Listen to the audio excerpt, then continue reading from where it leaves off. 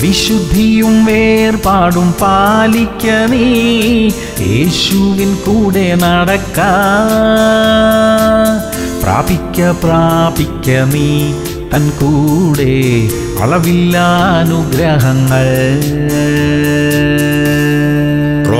പതിനാല് പത്തൊൻപത്. നാം സമാധാനത്തിനും അന്യോന്യം ആത്മീക വർധനയ്ക്കും ഉള്ളതിന് ശ്രമിച്ചു ശ്രമിച്ചുകൊള്ളുക പ്രിയമുള്ളവരെ നഷ്ടപ്പെട്ടുപോയ സ്നേഹവും ബന്ധങ്ങളും വീണ്ടെടുക്കുന്നതിനായി നമുക്ക് പരിശ്രമിക്കാം. സഹവിശ്വാസികളുടെ ആത്മീക വർധനയ്ക്ക് വേണ്ടിയ കാര്യങ്ങൾ നമുക്ക് ചെയ്യാം. അതിന് നാം മുൻകൈ എടുക്കണം. മുൻകൈ എടുക്കുന്നവർ തോറ്റുപോകുന്നവരല്ല. അവർ ജയിക്കുകയാണ് ചെയ്യുന്നത്. ബന്ധങ്ങളിൽ സമാധാനം ഉണ്ടാക്കുവാൻ കർത്താവ് നമുക്ക് കൃപ തരും. പ്രാർത്ഥിക്കാം. സ്വർഗീയ പിതാവേ ഞങ്ങളുടെ കൂട്ടു സഹോദരങ്ങളെ സ്നേഹിക്കാനും അകൽച്ചകളെ നീക്കുവാനും കൃപ തരണമേ അപ്പ. സമാധാന ശ്രമങ്ങൾക്കായി മുൻകൈയെടുക്കുവാനുള്ള കൃപ ഞങ്ങൾക്ക് തരണമേ. യേശു ക്രിസ്തുവിന്റെ നാമത്തിൽ തന്നെ. ആമേൻ ആമേൻ ആമേൻ.